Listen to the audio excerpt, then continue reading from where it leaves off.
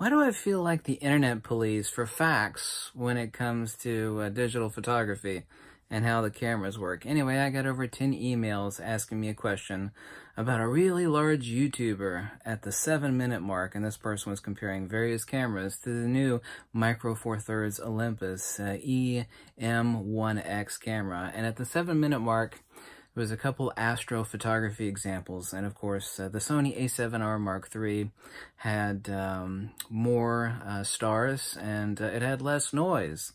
And let me give you an exact quote from this video, and let me tell you why it is absurdly wrong. And it's not my feeling that it's wrong, it's not my opinion that it's wrong, it's flat out wrong, period. Here's the exact quote, word for word. The Sony a7R III has four times the surface area over that of the Olympus, and this means that it gathers a lot more total light. Well, this is not true because exposure is per unit area, not per total area. Now, directly after this, the statement was made that while light is the same on a per millimeter basis, this is true. This is true. However, there is um, vignetting and uh, light fall off because all lenses uh, project a circle of light that actually fades towards the corners, but let's not get into the minutia. So, uh, exact quote, the larger sensor has more square millimeters, and thus it gathers more light, reducing the amount of noise. This is absolutely incorrect. It is nonsense. It is poppycock. It is bullocks. It is a false statement. Now, I don't know about you, but if I had a zillion subscribers, I might want to get my facts correct. Um, thus increasing the detail. Um, the Sony a7R, uh, this is uh, the quote once again, the Sony a7R Mark III has twice the megapixels also. Well, this makes no difference because everything, of course, is about pixel pitch and obviously density. There are many variables to actually account for why the Sony a7 uh, Mark III has less noise. And you know what? It has absolutely nothing to do with sensor size, okay? That quote and the uh, cross-comparator image between the new uh, Olympus EM1X and the Sony a7R Mark III on the uh, on the star photographs that you were showing in your video at the seven-minute mark, um, your explanation is incorrect. It is false. It is demonstrably wrong. Um, there, here's some of the variables that actually account for that. By the way, let's actually point out the biggest one. Okay, I don't know if you know what the photo sites are or pixel pitch is, but here's the major reason why the Sony a7R Mark III has less noise. Because the pixel pitch on that Sony camera is 4.51 microns, right?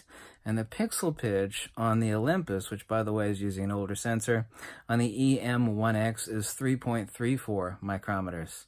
Okay, the Sony is 4.5 larger eyeballs and 3.34 on the Olympus Micro Four Thirds. That's the major reason why the dynamic range is better on the Sony and there is less noise. Okay, has nothing to do with sensor size. Absolutely nothing. You keep repeating this over and over again, and that is not how digital cameras work. You see this little neat thing here? This is a Sekonic 858. I know you actually have specifically called this quote-unquote throwback technology. You see this Sekonic 858? It's the most advanced light meter for digital photography that exists on planet Earth. You know what it doesn't have? It doesn't have an input for sensor size. Okay? Exposure is per unit area. Okay? Does not change. Here are the other variables that account for the superior star photography and less noise. The IR pass filter is a main reason. The AA filter, or lack thereof, between the two cameras is a main reason. The SNR firmware, the signal-to-noise ratio firmware, is a major reason. The uh, AD converters is a huge region, uh, huge reason. That's the analog to digital converters. The pixel pitch, what I should just mention, that Sony sensor has larger eyeballs on it. I like to use the analogy of eyeballs because it's really simple for people to understand. The micro lens design. There are dozens and dozens of different micro lens designs on cameras. Very, very important. Yes? Yes. We're not asking asking a question here. It's a statement of fact because I like facts. Um, none of this has anything to do with sensor size. So your statement, and this is an exact quote from you in your video, okay? This is about facts, okay? Let's just talk about facts here, okay? Your quote that the larger sensor in that Sony has more square millimeters. Well, this is true. It is a larger sensor. The square area is larger on that full-frame Sony than it is on that Micro Four Thirds Olympus sensor. The larger sensor on the Sony has more square millimeters, and thus it gathers more light, reducing the amount of noise. This is incorrect. This is as ridiculous and as ignorant as saying that if you went into a larger house, like say, went from a three-room house into a 10-room house, that like all of a sudden, you know, the uh, oxygen density per room would like increase, you know, like less noise. Of course that's not true. It's ridiculous. It's absolutely ridiculous. You know, when you like drive from a smaller state into a larger state, does more light fall on your head? Of course it doesn't. No light meter on Earth has an input for sensor size. When you use words like total light, the only thing that matters when it comes to total light is solar panels because they only output one thing. That's voltage. Yes, indeed. So, God. Noise, exposure, dynamic range, and native gain are per unit area, are not per total area. Larger sensors don't gather more light and they have no effect on exposure, dynamic range, and native gain. They don't. If you could take that Sony... By the way, I made a video about this like a half a year ago. Do you know what uh, camera sensor has the best low light gain? It is a tiny sensor. Uh, Panasonic makes one, and Sony makes one. It's for backup cameras on cars. You stick it on the, it's a little tiny sensor that fits on the back of a car so you can actually see like in near total darkness.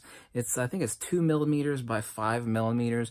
Really, really, really small sensor. It is a 2 megapixel sensor. Now, it is completely useless for, for, photography, but it has the lowest noise and the best gain. It has really huge eyeballs on it, i.e pixels, pixels, photosites. Okay? This statement is incorrect. Larger sensors have nothing to do with noise, okay? It is the case in most instances, but not always, especially less now, is that larger sensors have had larger eyeballs, and therefore they do have better native gain.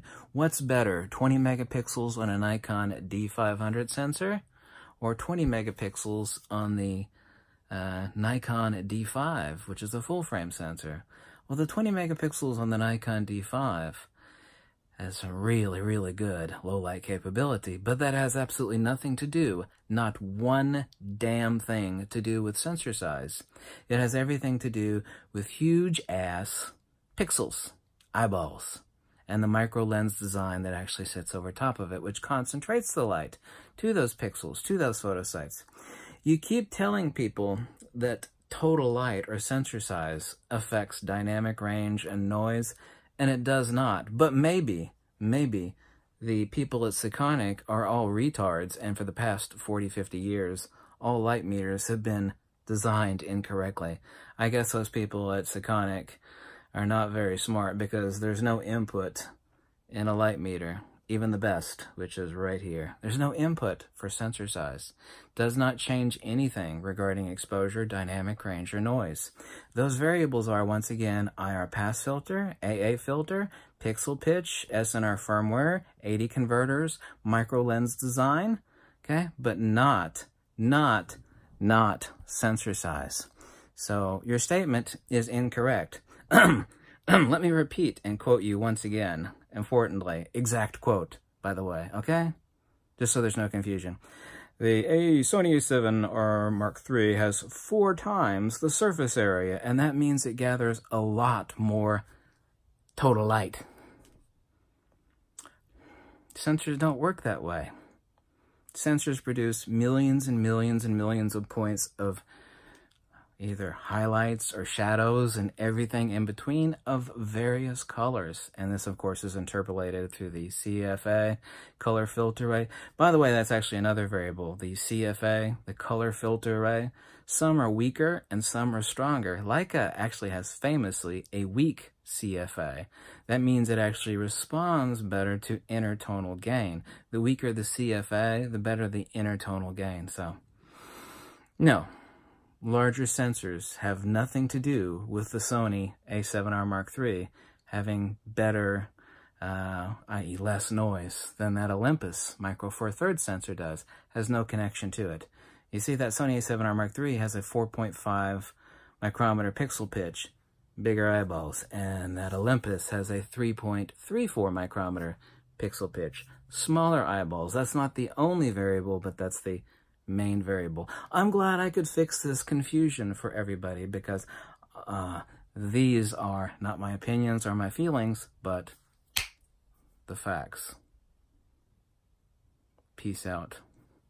By the way, this is not throwback technology. This is a light meter. Yeah. Bye. If you like these videos, you could always click the link below. You could send me an email telling me how much you hate me. But regardless, I'm correct in this video. 100% correct. Bye.